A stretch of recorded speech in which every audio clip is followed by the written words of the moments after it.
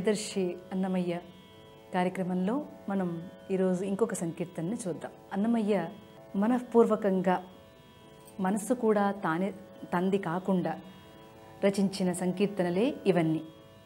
ఏ మనస్సైతే భగవంతుని ఆధీనంలో పనిచేశాయో అందుకని అంతటి ఆర్తి అంతటి బోధ అంతటి వైరాగ్యం అంతటి నీతి మనందరికీ వచ్చే.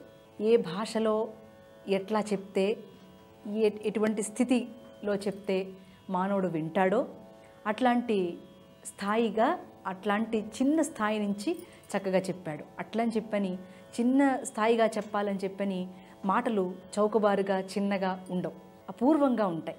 ఆ మాటల్లో ఉన్నటువంటి లోతు కేవలంగా పైకి కనిపించినప్పటికీ ఆ లోపల ఒక ధ్వని ఉంది ప్రత్యేకంగా. అంటే ధ్వని లేకుండా అసలు కావ్యమే ఉండదు. వాల్మీకి చేసిన వ్యాసుడు చేసిన వాళ్ళందరి కావ్య రచనలో వాటి వాళ్ళ వాటి పటిమలో మనం ఏం చూస్తామనంటే పైన ఉన్నటువంటి అర్థాన్నే మనం చూస్తూ ఉంటాం. కాదు ఆ లోపల లోతైనటువంటి ఒక ధ్వని ఉన్నది. ఆ ధ్వనిలో కావ్యం ఉన్నప్పుడు ఏమవుతుందంటే మనకు అపారమైనటువంటి సాధన విషయాలు తెలుస్తూ ఉంటాయి. అలా కాకుండా గనక మన సంకీర్తనగా మనం చూసామనుకోండి ఇది ఏదో మాటగా చూసామనుకోండి ఉండదు. అంటే ధ్వని లేకుండా ఎప్పుడూ కూడా కావ్యము కావ్య పటుత్వం రాదు. అలా అన్నమయ్య ఈ సంకీర్తనలో చెప్తూ ఉన్నాడు. మళ్ళా చక్కదైనటువంటి వాసుదేవోపాసన చెప్తూ ఉన్నాడు. అంతర్యామిగా అందరిలోనూ చైతన్యం ఎట్లా వెలుగుతూ ఉన్నదో చెప్తూ ఉన్నాడు. ఎట్లా మనందరం సాధన చేయడంలో ముందు ఉండాలో చెప్తూ ఉన్నాడు. తాను చూసింది చూసినట్లుగా అనుభవించింది అనుభవించినట్లుగా చక్కగా చెప్తూ ఉన్నాడు. ఎదుట ఎవ్వరు లేరు ఇంత విష్ణుమయమే. మనందరికీ తెలుసు అంతా విష్ణుమయమే. అది కాకుండా అన్యత్రా ఇంకొకటి లేదు అన్న విషయం. కానీ వదలక హరిదాసవర్గముమైన వారికి ఎవరికి తెలుస్తుందట? ఇదంతా విష్ణుమయమని. అంటే విష్ణుమయమని ప్రతివాడు నమ్ముతాడు. నమ్మటం కాదు కావాల్సింది. తెలియబడటం కావాలి. తెలుసు అందరికీ తెలుసు. తెలియబడుట అనే దాంట్లోనే విద్య ఉన్నది. విత్ అంటే తెలియుట విద్య అంటే తెలియబడుట. ఈ విద్య ఎట్లా ఉన్నది అనంటే ఎవరైతే హరిదాసులు అంటే భగవంతునికి దాసానుదాసులుగా ఉన్నారో స్వామిని నిరంతరం కీర్తిస్తూ ఉన్నారో భాగవతోత్తములు ఎవరైతే ఉన్నారో మహాత్ములు ఎవరైతే ఉన్నారో వాళ్ళకి తెలుస్తుందట తెలుస్తుందట ఇది విష్ణుమయం అని. ఎంత బాగా అన్నాడు వెనక్కి తిప్పి చెప్పాడు. అయినప్పటికీ ఒక అందులో ఒక మాధుర్యం కూడి ఉంది. ఎదుట ఎవ్వరు లేరు ఇంత విష్ణుమయమే అనేది ఒక చక్కటి స్టేట్మెంట్ లాగా చెప్పారు. కానీ నెక్స్ట్ ఎవరు ఏమంటున్నారు? ఎవరికి ఇది అప్లికేషను వదలక హరిదాస వర్గములైన వారికి. వాళ్ళకైతే ఇది తెలుసు అన్నాడు. అంతేనా? అంతకంటే వాళ్ళ హరిదాసులు అయితే సరిపోతుందా? అంటే పాట పాడు సంకీర్తన చేసుకుంటే భగవంతుని నామం చెప్పుకుంటే సరిపోతుందా? కాదు. అనుభవయోగ్యంగా ఉండవలే. ఆ అనుభవయోగ్యంగా ఉండటానికి ఏంటి? అనంటే చరణంలో చెప్తూ ఉన్నారు. ముంచిన నారాయణమూర్తులే ఈ జగమెల్ల అంచిత నామములే ఈ అక్షరాలెల్ల ఎంత బాగా అన్నాడు. మనం ఎదుటివాడిని చూడంగానే వీడికి ఒక పేరు వాడికి ఒక కలరు వాడికి ప్రత్యేకంగా ఒక డ్రెస్సు ఏదో ఒక ఐడెంటిఫికేషన్ ఇస్తాం. దానికంటే ముందు వాడిలో ఉన్నది నేను అన్నది మర్చిపోతాం. ప్రతివాడు నిద్ర నుంచి లేవంగానే ఏమంటాడు చెప్పండి? వాడి పేరు చెప్తాడా? చెప్పడు. నేను అంటాడు. ఎందుకని అంటున్నాడు? నేను అని. ఎస్ ఆ నేనే వాడు కనుక. ప్రతివాడు ఎవరినైనా సరే మీరు లేపండి. వాడు లేవంగానే వాడికి వాడు ఏమనుకుంటాడు? నేను అనుకుంటాడు. అంటే ఏమని అర్థం నేను అనగా ఆ పైవాడు అంతర్యామిగా అంతరాత్మగా స్వామియే ఇక్కడ ఒక ఒక మనిషి రూపంలో ఒక దేహాన్ని ధరించి ఒక పేరు పెట్టుకొని మూర్తిగా నారాయణమూర్తిగా ఉన్నాడు. అయితే అంచిత నామములే ఈ అక్షరాలెల్లా. వీళ్ళందరికీ పేర్లు కూడా ఎవరు పెట్టారు అంటే ఆయనే పెట్టుకున్నాడు పాపం ఆ పేర్లు కూడా. మనం ఏం పెట్టుకున్నవి కాదు. మనం అనుకుంటాం మనం పెట్టుకున్నామని. ఆయనే ఆ పేర్లన్నీ పెట్టుకున్నారు. పంచుకున్న శ్రీహరి ప్రసాదం ఈ రుచులెల్లా. ఎన్ని రుచులు మనందరికీ ఉన్నాయి. కోరికలు వాటితో వా- అవి తీరక అగచాట్లు. దాంతో పాటుగా మనకున్నటువంటి చుట్టుపక్కల చాలామంది ఉన్నారు. కర్షకులు కార్మికులు శ్రామికులు వీళ్ళందరూ ఉన్నారు. వాళ్ళందరికీ అందరినీ చూడంగానే మనకేం అర్థమవుతుంది? ఇదంతా స్వామి ప్రసాదం అని అర్థం కావటం లేదా? వాళ్ళు లేకపోతే మనం పని చేయగలమా? ఎందుకు ఈ దృక్పథం మనకి రావడం లేదు? అది అన్నమయ్య చెప్తున్నటువంటి బోధ. పంచుకున్న శ్రీహరి ప్రసాదం ఈ రుచులల్లా తెంచివేసి మేలు తా తెలిసేటి వారికి. మీరు కొంచెం యువతలకు వస్తే తప్పకుండా ఇవన్నీ చాలా సులువుగా మీకు తెలుస్తాయి. మీరు యువతలకి రావడం లేదు అని ఆయన బాధపడుతూ చెప్తూ ఉన్నారు. ఇక అంతేకాక ఇందులో మనలో ఉన్నటువంటి దివ్యత్వాన్ని కూడా చెప్తూ ఉన్నాడు. మనం అందరం కూడా భగవంతుని పంపినటువంటి పిల్లలం మాత్రమే. మనకు మనంగా పుట్టినటువంటి వాళ్ళం కాదు అని కూడా చెప్పటం. ఎందుకని? మనం అనుకుంటే పుట్టామా? కాదు. మన తల్లిదండ్రులు అనుకుంటే పుట్టామా? కాదు ఆయన పంపాలనుకున్నాడు పంపుతున్నాడు. అప్పుడు అలాంటప్పుడు మనం పాపులం ఎట్లా అవుతాం? పాపాత్మ పాప సంభవ అని ఊరికే చుట్టూ తిరుగుతూ ఉంటారు.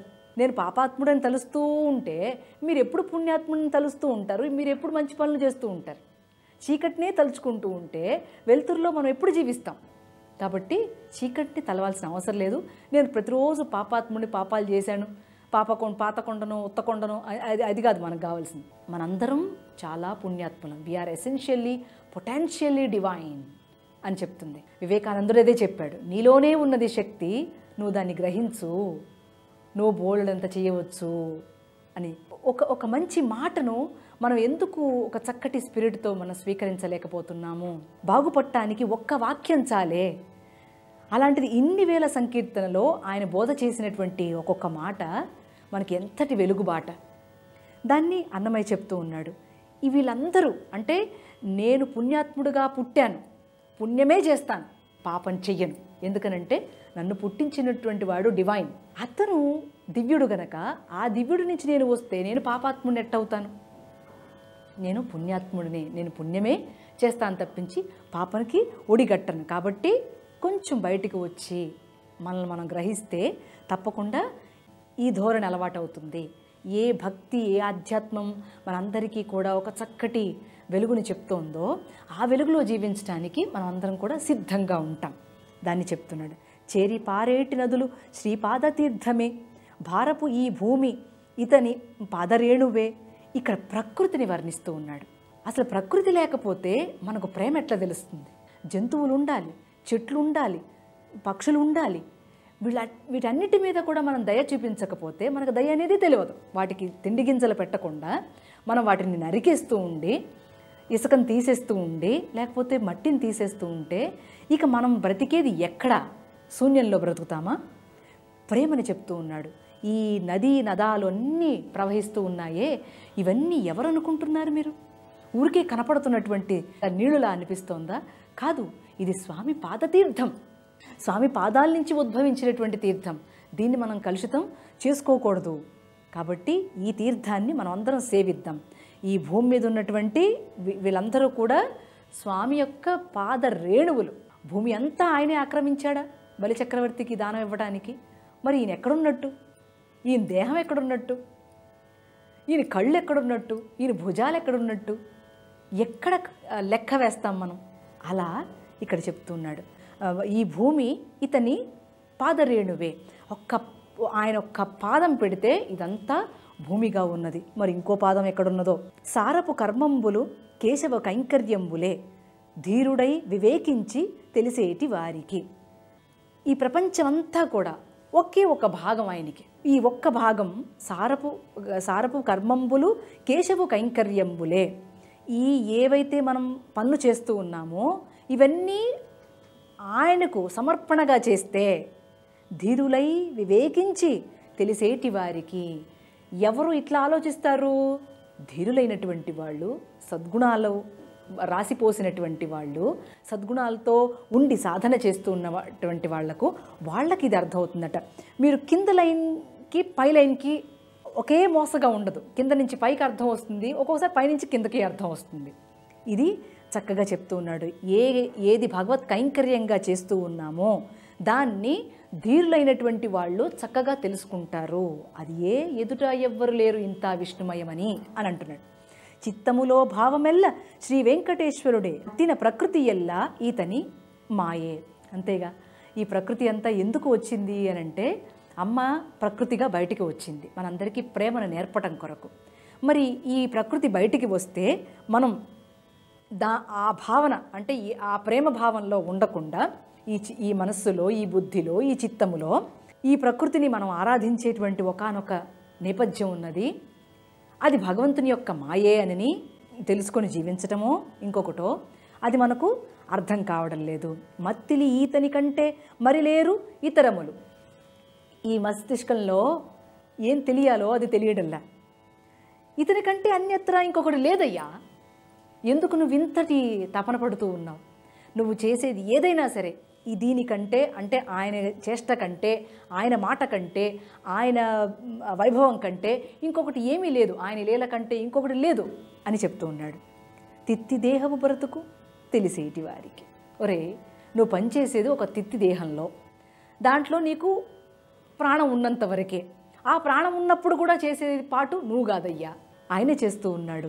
నువ్వు దాన్ని స్పర్శ చేయటల్లా.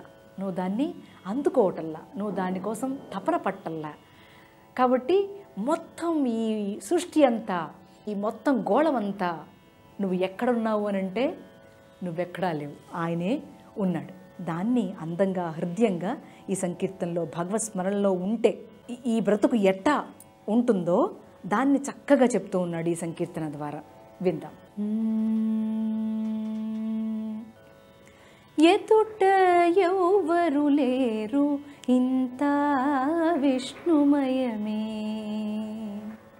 ఎదుట ఎవ్వరు లేరు ఇంత విష్ణుమయమే.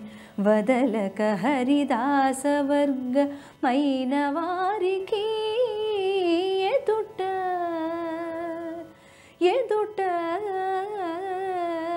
ఎదుట ఎవ్వరు లేరు ఇంత విష్ణుమయమే